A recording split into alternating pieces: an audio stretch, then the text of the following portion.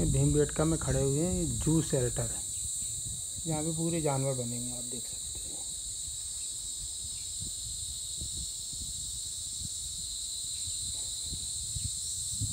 इसको जू सेल्टर बोलते हैं।